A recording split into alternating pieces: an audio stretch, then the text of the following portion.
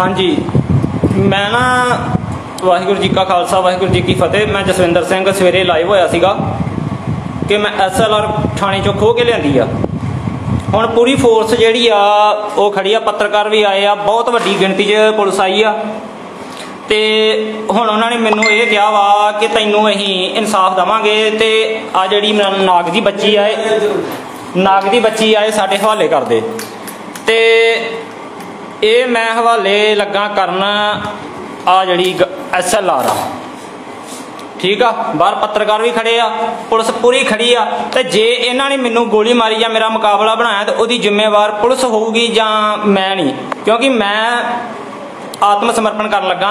ਹੁਣ ਇਹ ਪੁਲਿਸ ਦੀ ਮਰਜ਼ੀ ਆ ਵੀ ਮੈਨੂੰ ਜਿਹੜੀ ਗੋਲੀ ਮਾਰਨੀ ਆ ਜਾਂ ਇਹ ਗਨ ਮੈਂ ਦੇਣ ਨੂੰ ਤਿਆਰ ਆ। ਹੁਣ ਮੈਂ ਬਾਹਰ ਬੂਹਾ ਖੋਲਣ ਲੱਗਾ ਤੇ ਪੁਲਿਸ ਜਿਹੜੀ ਆ ਉਹ ਹਾਂ। ਹੁਣ ਮੈਂ ਗ੍ਰਿਫਤਾਰੀ ਦੇਣ ਲੱਗਾ ਜੀ। ਪਹਿਲਾਂ ਆਪਣੀ ਜਿਹੜੀ ਬਾਪੂ ਨੇ ਸਾਨੂੰ ਦਿੱਤੀ ਆ, ਉਹ ਮਿਆਨ ਕੱਚ ਪਾ ਲਈਏ।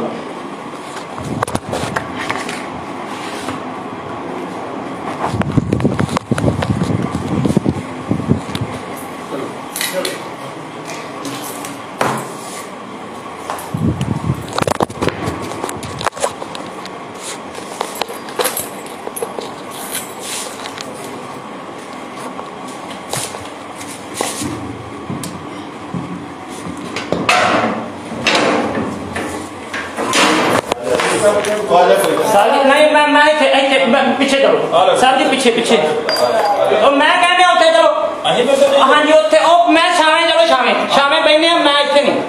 ਹੁਣ ਬੈਂਚ ਤੋਂ ਇੱਥੇ ਲਵਾ ਲਿਆ ਉਹ ਨਹੀਂ ਛਾਵੇਂ ਉਹ ਮੇਰੇ ਵੱਡਿਆ ਵੀਰਾ ਉੱਥੇ ਛਾਵਾਂ ਉੱਥੇ ਚਲੋ ਹਾਂ। ਹਾਂ ਉੱਥੇ ਚਲੋ ਉੱਥੇ। ਨਹੀਂ ਹੁਣ ਮੇਰੇ ਓਵਰ ਕਰਨੀ ਕਿਤੇ ਕੰਮ ਦੇ ਉਹ ਇੱਕ ਇਦਾਂ ਨਹੀਂ ਮੈਂ ਬਚਦਾ ਥੋੜੀ ਇਦਾਂ ਕਿਦਾਂ ਦੇ ਦਾਂ ਉੱਥੇ ਚੁੱਕ ਕੇ ਖੜੋ ਹੈਂਡ ਓਵਰ ਕਰਾਂਗਾ। ਮੈਂ ਗਲਤੀ ਨਹੀਂ ਕਰਦਾ। ਜਦੋਂ ਮੈਂ ਤੁਹਾਨੂੰ ਮੈਂ ਵੀ ਲਾਈਵ ਹੋ ਚੱਲਣ ਡਿਆ। ਮੈਂ ਤੁਹਾਨੂੰ ਕਹਿੰਦਾ ਜੇ ਮੈਂ ਕੋਈ ਗਲਤੀ ਉਹ ਸਾਹਿਬ ਜੀ ਮੈਂ ਆਉਣਾ ਹੀ ਆ, ਬੂਹਾ ਆਉਣ ਵਾਸਤੇ ਖੋਲਿਆ ਵਾ। ਮੈਂ ਆਉਣਾ ਵਾ। ਚਲੋ ਉਹ ਮੈਂ ਉੱਥੇ ਚਲੋ ਪਹਿਲਾਂ ਸ਼ਾਮੇ ਚਲੋ। ਚਾਹ ਜੋ ਪੱਤਰਕਾਰ ਗਿਆ। ਉਹ ਯਾਰ ਸ਼ਾਮੇ ਚਲੋ। ਯਾਰ ਮੈਂ ਕੁਝ ਕਰਨ ਲੱਗਾ। ਮੈਂ ਗ੍ਰਿਫਤਾਰ ਵੇਖੋ ਮੈਂ ਨਹੀਂ ਕੁਝ ਉੱਥੇ ਉੱਥੇ ਜਿੱਥੇ ਆ ਕੁਰਸੀਆਂ ਵੀ ਇੱਕ ਮਿੰਟ। ਇੱਕ ਮਿੰਟ ਇੱਕ ਮਿੰਟ। ਅਫਸਰਾਂ ਨੂੰ ਕੁਰਸੀ ਆ ਚਾਬੀ ਤੁਹਾਡੀ ਬੈਰਲ ਦੇ ਨਾਲ ਹੀ ਇਹ ਵੀ ਨਾਲ ਹੀ ਤੁਹਾਨੂੰ ਦੇਣੀ ਆ। ਇੱਕ ਮਿੰਟ ਇੱਕ ਮਿੰਟ ਇੱਕ ਮਿੰਟ। ਬਾਕੀ ਉਹ ਸਾਹਿਬ ਜੀ, ਇੱਕ ਮਿੰਟ ਖਲੋ ਜੋ ਇੱਕ ਮਿੰਟ ਯਾਰ, ਮੈਂ ਮਿੰਤਾ ਕਰਨ ਰਿਹਾ ਵਾਂ, ਮਿੰਤਾ ਵੀ ਚਲੋ ਉੱਥੇ।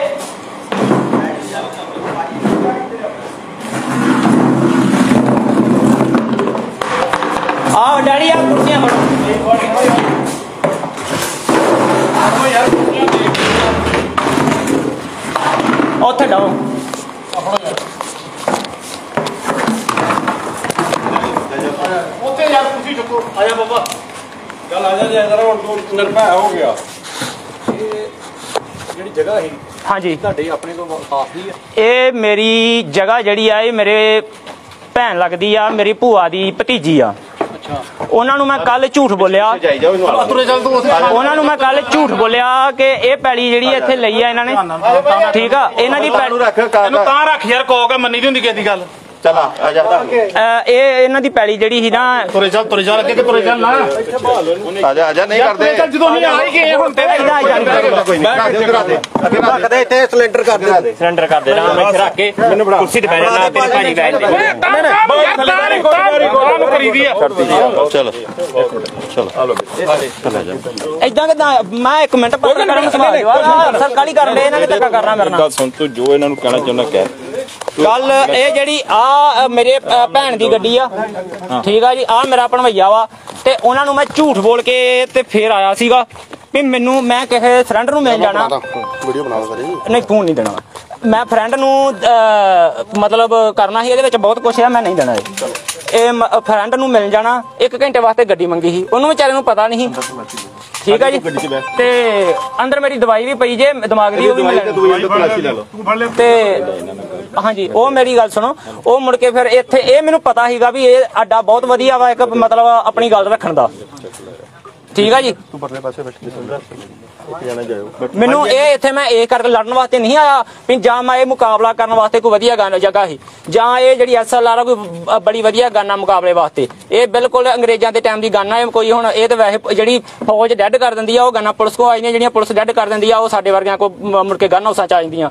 ਸੋ ਇਹ ਕਰਕੇ ਇਹ ਮੈਂ ਆਪਣੀ ਲੜਨ ਵਾਸਤੇ ਨਹੀਂ ਲਈ। ਇਹ ਸਿਰਫ ਆਪਣੀ ਗੱਲ ਰੱਖਣ ਵਾਸਤੇ ਲਈ ਸੀ ਵੀ ਮੇਰੀ ਸੁਣਵਾਈ ਨਹੀਂ ਹੋਣ ਡਈ ਤੇ ਉਹ ਬੰਦੇ ਆਮ ਆਦਮੀ ਪਾਰਟੀ ਦੇ ਆ। ਠੀਕ ਆ ਜੀ ਇਸ ਕਰਕੇ ਮੈਂ ਇਹ ਅੱਡਾ ਚੁਣਿਆ ਸੀ ਵੀ ਜਦੋਂ ਇੱਥੇ ਫੋਰਸ ਕਿਹੜੇ ਪਿੰਡ ਆਊਗੀ। ਦੇ ਬੰਦੇ ਆ? ਗੁਰਦਾਸ ਨੰਗਲ ਪਿੰਡ ਦੇ ਆ। ਤੁਹਾਡਾ ਨਗਰ ਕਿਹੜਾ ਵਾ? ਮੇਰਾ ਵੀ ਗੁਰਦਾਸ ਨੰਗਲ ਆ। ਤੁਹਾਡਾ ਨਾਮ ਕੀ ਆ? ਜਸਵਿੰਦਰ ਸਿੰਘ ਆ। ਪਿਤਾ ਦਾ ਜਰਜਿੰਦਰ ਸਿੰਘ। ਮਸਲਾ ਕੀ ਆ ਅਸਲ ਚ ਤੁਹਾਡਾ? ਮਸਲਾ ਯਾਰ ਮੈਂ ਚਾਰ ਵਾਰੀ ਮੈਂ ਦੱਸ ਚੁੱਕਾ। ਗ੍ਰੰਥੀ ਸਿੰਘ ਦਾ, ਗ੍ਰੰਥੀ ਗ੍ਰੰਥੀ ਇਹ ਨਵੇਂ ਬੰਦੇ ਆਏ। ਅਗਰ ਚਲੋ ਇੱਕ ਮਿੰਟ ਇੱਕ ਮਿੰਟ ਇੱਕ ਮਿੰਟ ਇੱਕ ਮਿੰਟ। ਗ੍ਰੰਥੀ ਸਿੰਘ ਦਾ ਮਸਲਾ ਗ੍ਰੰਥੀ ਦੀ ਤਨਖਾਹ ਦਾ। ਉਹ ਗ੍ਰੰਥੀ ਦੀ ਤਨਖਾਹ ਜਿਹੜੀ ਸੀ ਉਹ ਗ੍ਰੰਥੀ ਦੀ ਤਨਖਾਹ ਸੀ 6500 ਰੁਪਇਆ ਕਿਹੜੇ ਪਿੰਡ ਦਾ?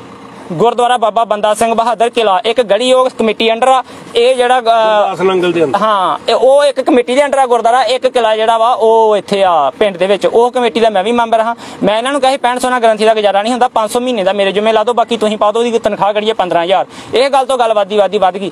ਤੇ ਮੇਰਾ ਜਿਹੜਾ ਕਸੂਰ ਆ ਉਹ ਮੈਂ ਭੁਗਤਣ ਨੂੰ ਤਿਆਰ ਆ ਜਿਹੜਾ ਮੈਂ ਕਾਨੂੰਨ ਤੋੜਿਆ ਵਾ ਪੁਲਿਸ ਇਹ ਦਵਾਈ ਆ ਪੁਲਿਸ ਕੀ ਪੁਲਿਸ ਨਾਲ ਕੀ ਮਸਲਾ ਬਣਿਆ? ਪੁਲਿਸ ਨੇ ਮੇਰੀ ਕੋਈ ਸੁਣਵਾਈ ਨਹੀਂ ਕੀਤੀ। ਐਸਐਚਓ ਕਹਿੰਦਾ ਤੇਰੇ ਇਕੱਲੇ ਵਾਸਤੇ ਥਾਣਾ ਖੋਲ ਕੇ ਥੋੜਾ ਬੈਠਾ ਸਰਬਜੀਤ ਸਿੰਘ।